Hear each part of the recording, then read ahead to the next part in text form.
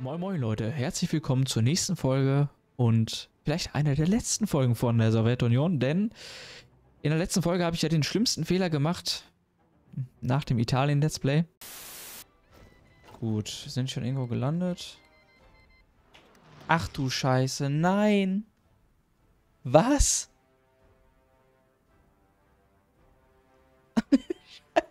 Was? Oh nein! Oh. Aber ähm, ja, wir haben ungefähr Krieg gegen jeden. Wir haben Krieg gegen Polen, Rumänien, Japan und gut, Korea ist jetzt nicht so wichtig.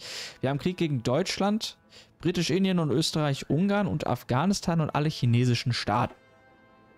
Und das ist natürlich ein Riesenproblem. Denn wir haben zumindest Britannien auf unserer Seite und ich hoffe, dass die Franzosen irgendwann helfen. Aber ja gut, das einzige Kriegsziel, was die Franzosen haben, ist gegen unsere Marionette. Sehr gut. Ähm, ja. Es entwickelt sich nicht gerade zu unserem Vorteil, sag ich mal so. Ähm, wir müssen irgendwie unsere Armee jedenfalls stärken. Hier können wir was machen, dass wir mehr rekrutierbare Bevölkerung kriegen. Das machen wir jetzt auch erstmal. Würde ich sagen. Äh, unsere Bündnispartner machen hier gerade Rumänien ein bisschen kaputt. Finde ich sehr gut. Und ansonsten müssen wir halt eigentlich nur abwarten.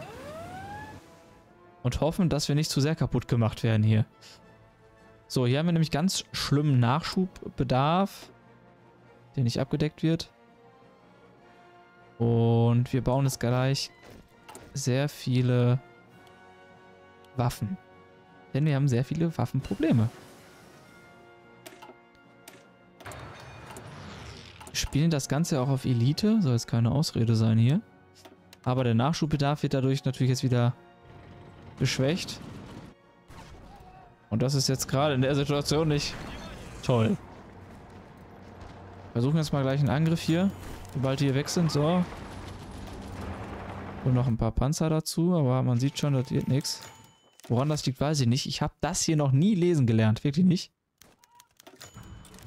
Es läuft gar nicht. Oh, ich habe gerade gelesen, dass Rumänien kapituliert hat, Leute. So. Wir machen das jetzt folgendermaßen. Rennen da jetzt durch. So. Rücken da ein bisschen vor. Aber nur so weit, dass wir auf jeden Fall nicht an der deutschen Front sind. Wobei das vielleicht sogar schlau wäre. Ich weiß es gerade gar nicht. Ich kann nämlich null einschätzen, wie stark die sind.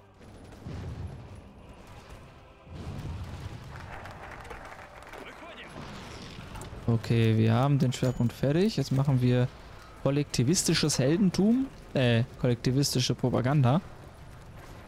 Genau, das machen wir. 70 Tage dauert das Ganze. Gehen jetzt auf umfangreich, weil es gerade ganz knapp wird.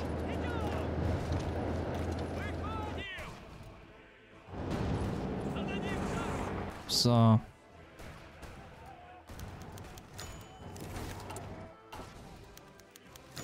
Haben wir noch Luftwaffenprobleme? Ne, haben wir nicht. Noch nicht. Aber Japan und so, die hinten machen mir Sorgen. Oh, wobei, oh, die Briten schlagen die zurück. Die spanische Kommune hat der Freiheits... Ah. Okay, wir haben mit Spanien mit. Als Bündnispartner praktisch. Die haben ja ihr eigenes Bündnis. Hm, aber unsere Bündnispartner werden hier gerade ganz schön kaputt gemacht. Das ist schlecht. Sehr, sehr schlecht. So. Gut. Die Deutschen greifen uns hier oben an. Die haben sehr viele Truppen dahin geschoben. Scheiße. Und hier sieht es ganz schlecht aus. Und Finnland ist immer richtig gefährlich, weil dann kriegen wir es volle Breitseite ab, wenn die vor, äh, wenn die es schaffen vorzurücken.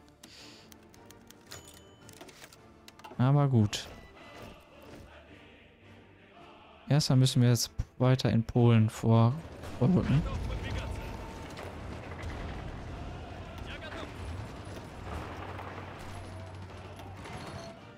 Okay. Wo sind die ganzen Truppen? Ja, wahrscheinlich greifen wir jetzt noch Dänemark an, Litauen. Wie sind die denn drauf?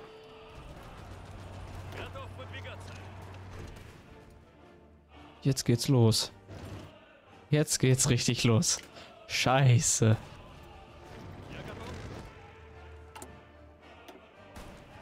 Also wir haben hier oben auch gar nicht so schlechte, äh, ne?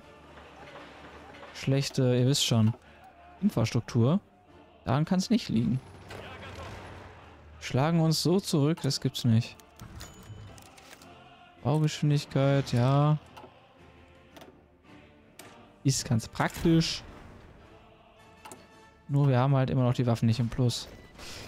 Und sobald gleich Polen kapitulieren sollte, stehen wir auch vor der deutschen Front und das wird uns entweder nutzen oder eben nicht nutzen. Ich tippe auf Zweiteres. Weil die uns ziemlich, äh ja, ich weiß nicht, ob sie uns überlegen sind.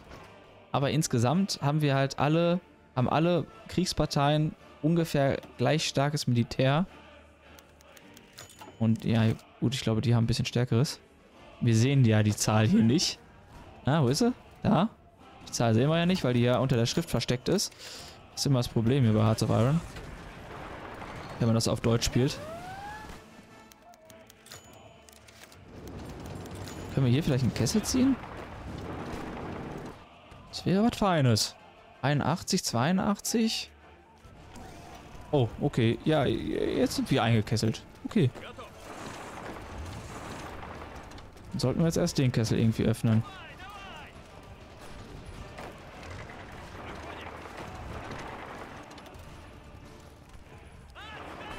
Ja, ja. So, kriegen wir das hin? So, der Kessel ist wieder geöffnet zum Glück. Was ist da denn? Lol. Haben die angemacht? Dann würde ich sagen, vollen Vormarsch. Wenn die da oben gerade alles erobert haben. Die Griechen. Die sind's. Oh, das ist richtig gut, dass die Griechen das jetzt gerade geschafft haben da oben. Jetzt haben wir schon wieder eingekesselt hier.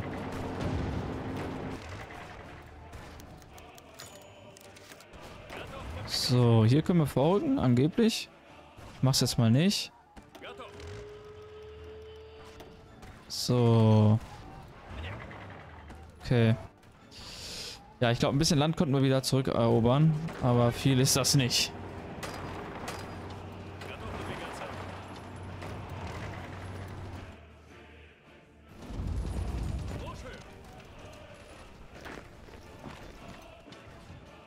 Ja, in Polen läuft's aber.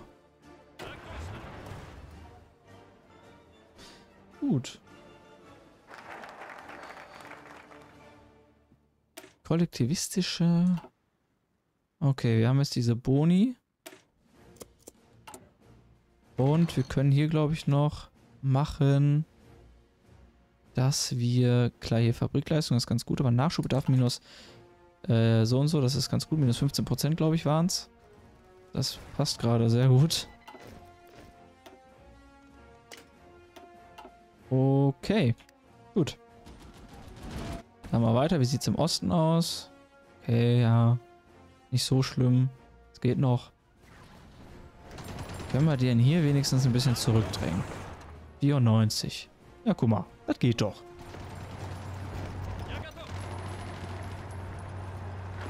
Gut. Ich weiß nicht, ob das klappt, aber wir können mal versuchen, auf jeden Fall einen Kessel hier zu ziehen. Okay, das wird nichts. Das geht mehr als schief. Können hier ein paar Divisionen wegnehmen. Hier und die nach da schicken. Okay.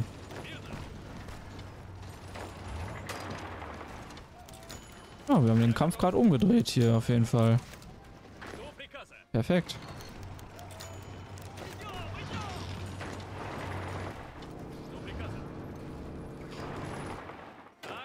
Okay, das sieht gut aus hier. Da, da geht's ganz gut.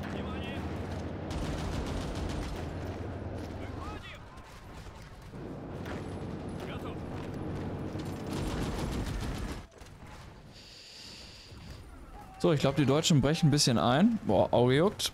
Sorry. So, wir haben den Hafen gleich vielleicht, wenn wir ein bisschen Glück haben zumindest. Haben aber auch Handelsprobleme. Und ich glaube, es liegt daran, dass wir der deutschen Front näher kommen. Weil wir gerade in Österreich, Ungarn ein bisschen Stress machen. Ich würde die nur zu gerne da unten einkesseln. Das wäre so schön. Ja gut, hier sind wir auch gleich in, in Deutschland einmarschiert, da oben.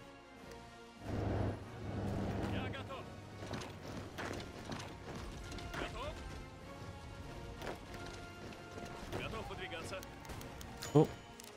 Litauische unabhängige SSR möchte die äh, möchte Schweden angreifen. Okay, das machen wir lieber mal nicht. So, wir können äh, in Dänemark noch ein bisschen für Kommunismus sorgen. Das wäre sehr gut. Und ist das jetzt hier gut, was hier passiert oder nicht? Ich glaube, äh, irgendwie so eine Mischung aus beiden. Okay, wenigstens läuft es aber noch in Polen einigermaßen. Ja, könnten wir doch auch mal die Luftwaffe nach vorne schicken, oder?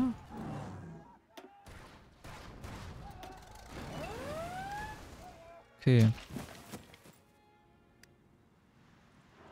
Ja, also ich glaube, die Briten machen das hier hinten schon einigermaßen. Also wir sind natürlich da ein bisschen zurückgeschlagen worden, aber nicht so krass. So. Gut, können wir irgendwo... Ich will irgendwo einen Kessel mal ziehen. Ein Kessel ist die Lösung. Tibet hat kapituliert, okay. Die gehört nicht zu uns, oder? Okay, es sieht so aus, als ob die zu uns gehören. Krass, Tibet gehörte zu uns. Das war eine Marionette von Manchukuo. Okay. Hä? Meine Marionette hat eine Marionette? Das denn? Ja, sollen die mal machen. Sollen die mal machen.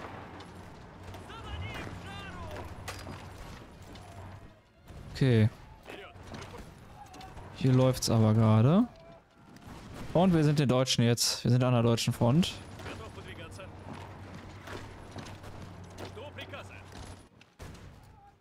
Okay. Ich sag ganz schön oft okay mittlerweile. Sonst war es immer irgendwas anderes. Haben wir die gleich ein... Oh, wir haben die gleich eingekesselt. Leute. Ein Kessel. Boah, wäre das geil.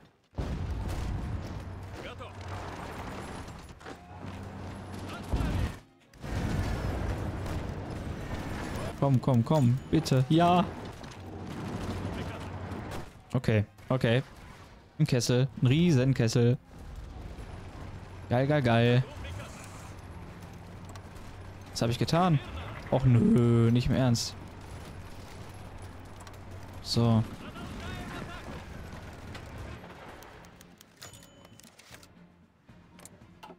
Gut. Ob wir gegen die Deutschen ankommen, ey. Boah, keine Ahnung.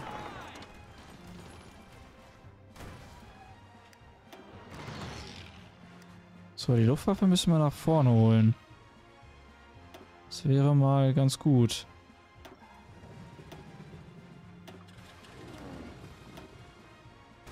Okay, das funktioniert.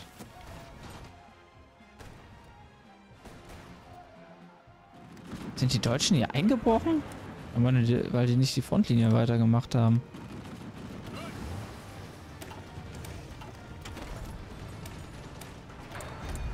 Haben wir, genau, neue taktische Bombe haben wir.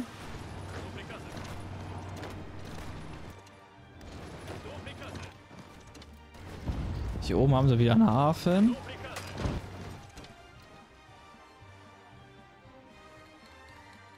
Deutschen haben das Schiff entschlüsselt. Können wir nicht eigentlich jetzt mal irgendwie probieren? Aber wir müssen einen Agenten befreien, fällt mir auf. Äh, probieren hier Österreich-Ungarn. Also, dass wir die ganz kommunistisch kriegen. Ich weiß gar nicht mehr genau, wie das ging. Ich, früher wusste ich es. Da habe ich das immer gerne benutzt, aber heute mit dem Geheimdienst weiß ich gar nicht mehr genau, wie das Ganze funktioniert. Ähm, wir können mal Atomforschung machen. Das ist schon längst überfällig.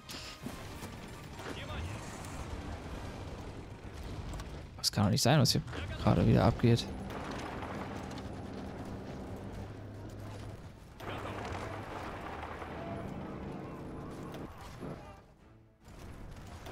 Das juckt hier überhaupt nicht. Die rennen da einfach durch. Aber hier können wir schön viele Divisionen einkesseln. Aber anscheinend läuft es da nicht so. Dann lassen wir es mal kurz. So.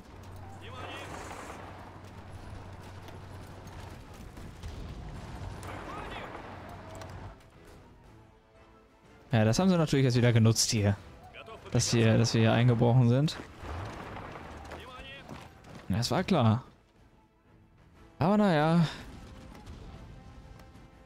Müssen wir jetzt erstmal da stehen bleiben und mal ein bisschen versuchen zu verteidigen, ein bisschen nachzuproduzieren. So, Freiheitskämpfer Estland, die haben verloren, die haben kapituliert.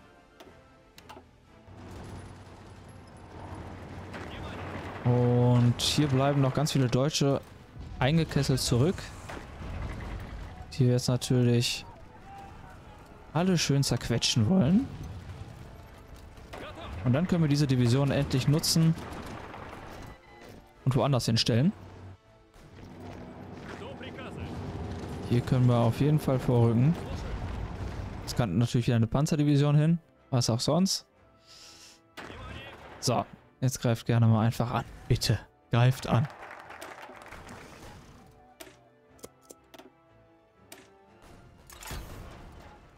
Hey, das gibt es nicht. Die umrunden einmal ganz schön unsere Marionette.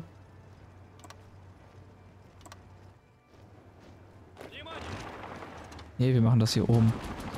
Greifen die da oben an.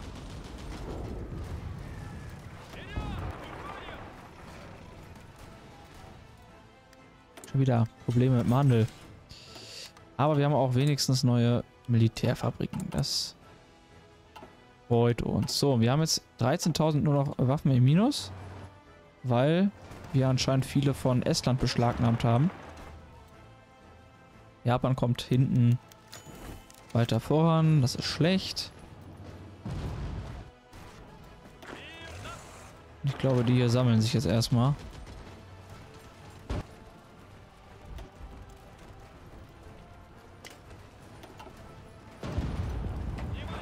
Okay, versuchen wir das mal zu erobern.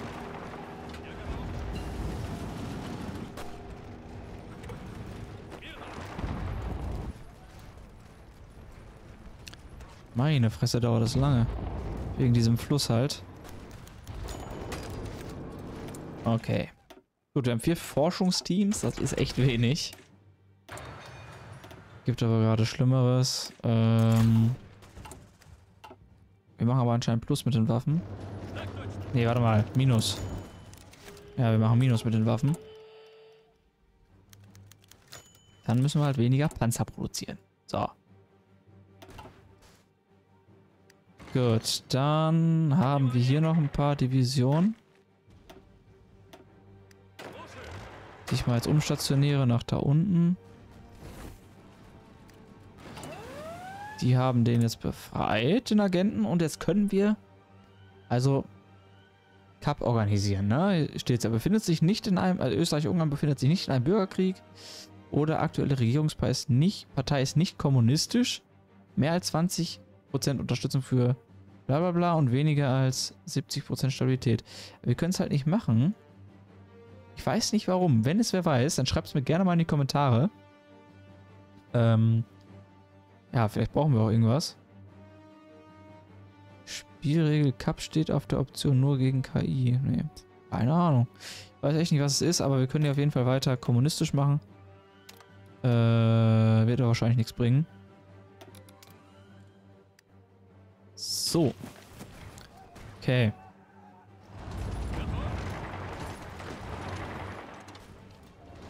Oh, da sind wir sogar vorgerückt. Perfekt. Ja. Können wir jetzt hier einen Kessel ziehen? Nein, können wir nicht. Wir haben aber mitten im Sommer. 9 Grad, okay, ist nicht gerade Sommer, ne? Okay, ähm... Ja. Warum ist das hier schon wieder so, wie es ist? Ganz seltsam. Können wir den einkesseln denn? 72. Nein, nicht da. Da, bitte.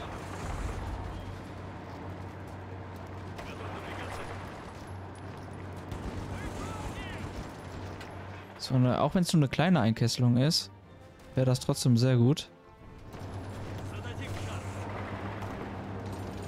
Und es funktioniert. Ja, guck mal. Muss halt auch mal klappen. So, ich glaube, ich bin ein bisschen kleiner als sonst hier in der Facecam. Kann das sein? Bisschen dumm eigentlich. Aber gut. Die Angriffe klappen hier nicht so, wie sie sollen. Ich würde aber sagen, Leute, wenn euch die Folge gefallen hat, dann zeigt mir es gerne mit einer positiven Bewertung, einem Abo oder einem Kommentar und ansonsten sehen wir uns in der nächsten Folge. Bis dahin. Ciao.